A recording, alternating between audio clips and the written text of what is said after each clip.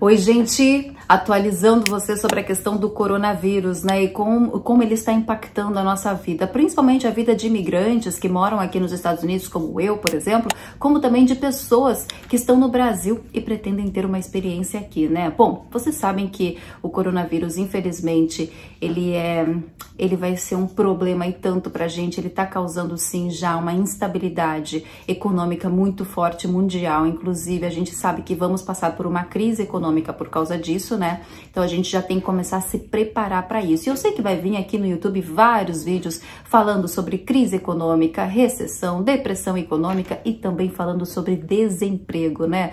Porque querendo ou não, já reflete aí em desemprego, tanto que já saiu várias matérias falando que os próprios americanos estão com seus trabalhos em risco. Então imagina a gente como imigrante. Inclusive tem muitos setores que já estão sofrendo e tem bastante gente já perdendo os empregos. Mas esse vídeo aqui não é para falar de desemprego não por causa do coronavírus. Eu quero trazer o outro lado da moeda para vocês, um lado um pouco mais positivo. Daqui a pouco, muitas vezes a gente fica tão desesperado em função de uma situação de desemprego ou possível desemprego que a gente fecha os nossos olhos para outras possibilidades. E esse vídeo aqui é justamente para mostrar para vocês que tem outros setores que estão bombando em emprego por causa da crise do coronavírus. Então, daqui a pouco você pode sim voltar os seus olhos, seus olhos para essas empresas, para esses setores também, viu, gente? E esse vídeo é justamente com esse propósito, porque eu acredito que se a gente puder trazer para vocês soluções de como nós podemos vencer este momento de crise, esse momento complicado de instabilidade, eu acho que é muito válido. Então eu tô fazendo esse vídeo justamente para isso, para mostrar para vocês que tem setores que já estão bombando em empregos e que talvez você possa pensar com bastante carinho neles, viu? Por exemplo, a Amazon. A Amazon acaba de anunciar que está colocando aí mais 100 mil novos postos de trabalho. 100 mil, gente, não é pouca coisa não, 100 mil. E esses trabalhadores vão começar a ganhar a partir de abril 17 dólares a hora. É uma medida que eles estão tomando porque eles não estão dando conta, viu? É muito pedido sendo feito online. Muitas pessoas, porque você sabe, as pessoas estão de quarentena, então acabam pedindo online e eles não estão com um efetivo bom, ou melhor, o suficiente para poder dar conta dessa demanda. Então, por isso, eles anunciaram 100 novos postos de trabalho. É 100, gente, 100 mil novos postos de trabalho. Eu falei 100, mas é 100 mil. 100 mil novos postos de trabalho. É muito emprego. Então, daqui a pouco, ó, dá para pensar por este lado também, viu? A questão da Amazon. Outro, outro setor que está crescendo muito, está bombando nessa questão e que pode também ser uma possibilidade para vocês é a questão da teleentrega. Por exemplo, sabe aquele aplicativo Instacart? O que, que é o Instacart? O Instacart, o Instacart é um aplicativo que você baixa no seu celular e aí você faz os pedidos de supermercado e uma pessoa vai lá e faz as compras para você no supermercado, ou seja, você não precisa ir até o supermercado. E essa pessoa, ou melhor, esses drivers, esses motoristas, eles viram praticamente, olha, aumentar demais o número de pedidos, porque tá todo mundo em casa.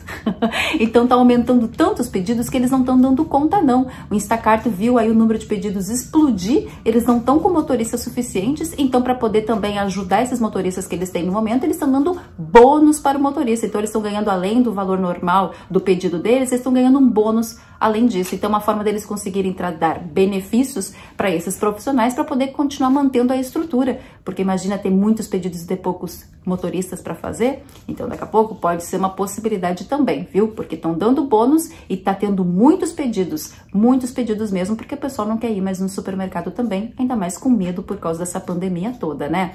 Outro setor que está crescendo bastante, que talvez você também possa se atentar, é a questão de empresas, por exemplo, empresas que vendem bebidas alcoólicas, agora descobriram que elas podem também fazer o que? Álcool em gel, porque o álcool em gel está não, não tem mais no mercado, né? Está em falta. Então, justamente por estar em falta, essas empresas viram uma possibilidade de poder também produzir álcool em gel, poder reabastecer esses supermercados, esses lugares que estão com falta do produto e também, querendo ou não, faturar um pouquinho mais, não é? E automaticamente, quando eles aumentam o número de produção ou colocam um produto novo no catálogo, também aumenta o número de postos de trabalho. Então, daqui a pouco também pode ser uma possibilidade, tanto empresas que produzem bebidas alcoólicas quanto destilarias também estão fazendo o álcool em gel, também viram possibilidades nessa questão também.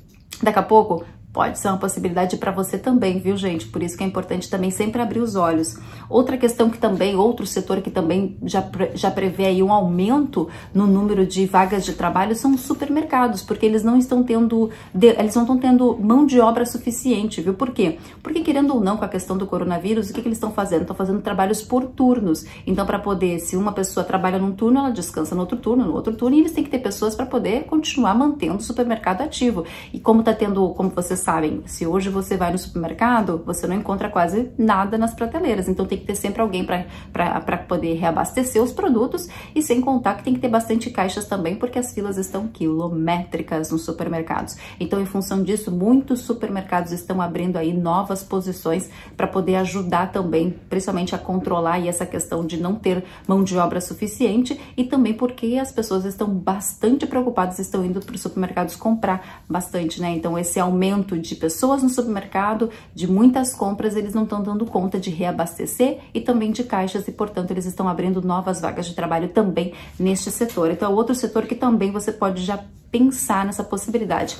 Vocês sabem que os restaurantes vão sofrer muito com o impacto dessa questão de fechar, né? Porque muitas cidades estão solicitando que restaurantes, bares, pubs, por exemplo, fechem. Então, por causa disso, eles não vão ter atendimento ao público. Então, eles estão vendo já que eles vão ter um impacto muito forte no faturamento deles. Porém, as teleentregas, e se a pessoa quiser buscar comida, tá valendo. Então, eles vão querer se apegar nessa questão. Por mais que eles não vão ter um faturamento muito bom, porque eles não vão ter atendimento ao público, eles não querem perder essa fatia que é a teleentrega. Então, o que, que você pode fazer neste momento? O que, que vai acabar acontecendo? Muitos restaurantes vão acabar precisando de mais cozinheiros, vão acabar precisando de mais auxiliares de cozinha e mais pessoas que ajudem na teleentrega desses produtos. Daqui a pouco você pode se oferecer para um restaurante aí para ser driver, por exemplo, para ajudar na questão da entrega, porque vai aumentar o número de teleentregas e você pode conseguir também fazer um rendimento extra neste momento de crise também, viu? Gente, empresas de limpeza também são outras empresas que também estão vendo crescer aí o número de clientes. Por quê? Porque muitas grandes empresas, justamente por causa do coronavírus, estão optando por contratar empresas de limpeza para fazer aquela limpeza realmente importante, aquela que vai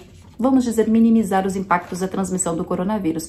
Então, muitas empresas estão se readequando quanto a isso, estão contratando empresas de limpeza. E como não tem profissionais suficientes, eles estão contratando profissionais para a área de limpeza. Também pode ser uma possibilidade para vocês, tá? Transportadoras e estoquistas também, gente, também tem bastante emprego, também vai bombar de empregos para esse setor. Por quê? Porque com o aumento de pedidos online, automaticamente vai se aumentar também a questão do transporte, né? Porque vão precisar de vários motoristas para fazer o transporte desses pedidos. E, por, e não só das, das empresas online, como também dos próprios supermercados, farmácias, enfim. Então também se prevê aí um aumento bem significativo de vagas para a área do transporte e também para estoquistas, tá? De lojas. Então também já fiquem atentos quanto a isso, tá? Empresas de papel higiênico eu não preciso nem falar, né? Já estão falando aí que eles vão aumentar também a produção para poder dar conta da demanda, vão aumentar a produção e vão abrir novos postos de trabalho. Então, também pode ser uma possibilidade para muita gente. Álcool em gel, como eu falei, já tem empresas de produção de bebidas alcoólicas que já está fazendo isso, já está produzindo bebidas alcoólicas e também uh, álcool em gel para poder dar conta da demanda e eles também vão abrir novos postos de trabalho para isso.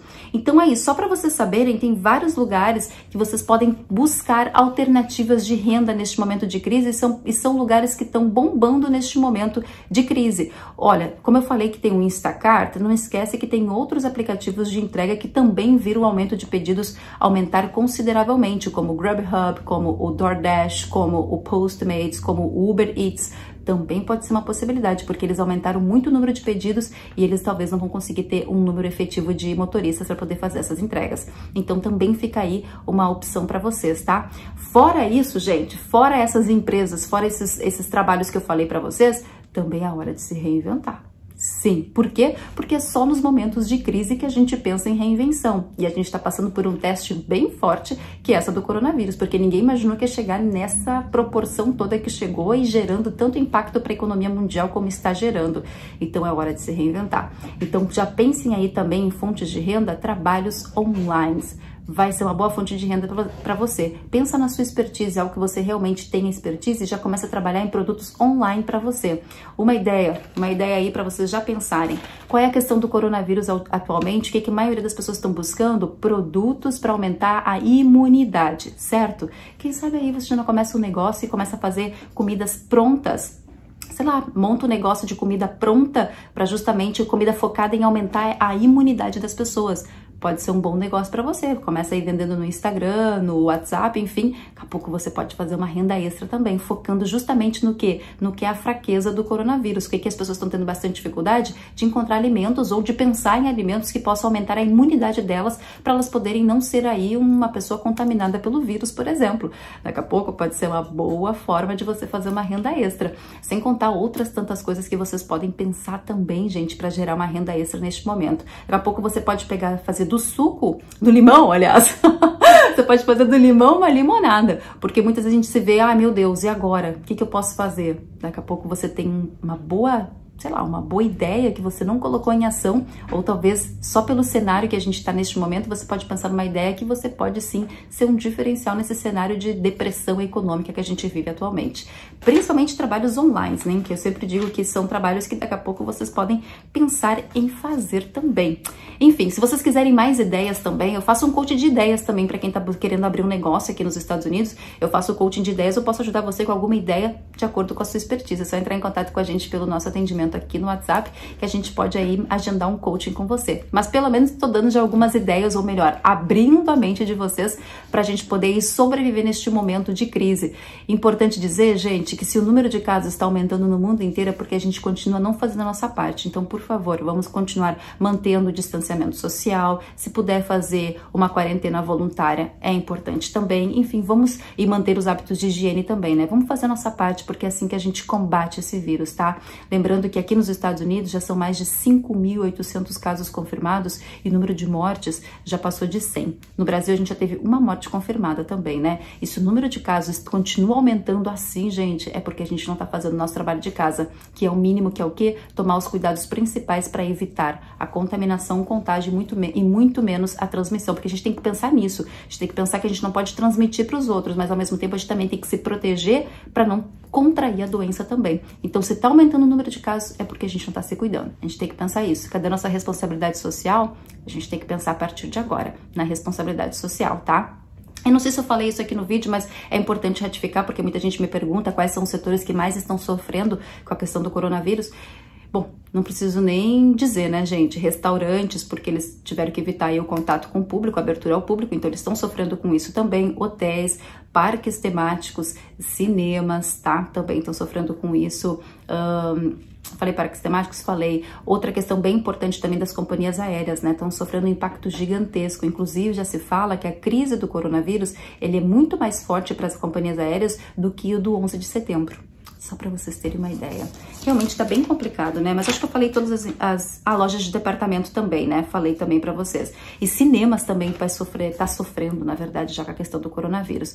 Enfim, é um panorama bem rápido para vocês de setores que estão sofrendo com a questão do corona, mas também um outro panorama bem positivo pra gente pensar além, ó. Se estamos sofrendo nesse setor aqui, quem sabe é hora de mudar para outro setor e buscar aí uma possibilidade. Daqui a pouco essas empresas que estão se reinventando aí, como a questão do álcool, do, da, da produção de bebida alcoólica, alcoólica e agora começar a produção de álcool em gel, daqui a pouco você pode pensar num negócio aí também para você neste momento de crise, daqui a pouco um negócio que realmente as pessoas precisem.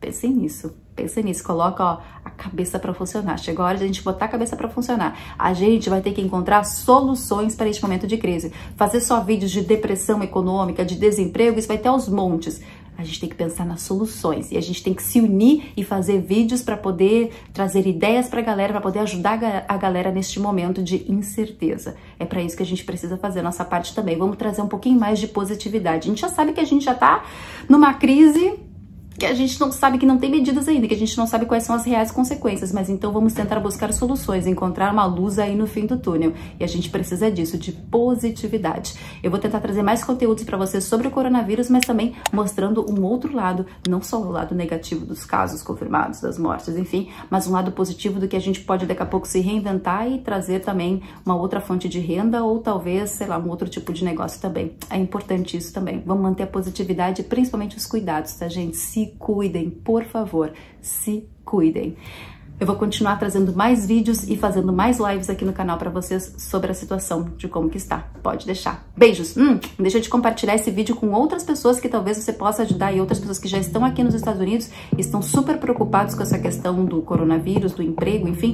Compartilhe com seu amigo, com seu vizinho, com a família, com qualquer pessoa. Compartilhe para eles saberem também. É importante, viu? fazer nossa rede do bem funcionar. Beijo, gente. Até o próximo vídeo. Tchau, tchau.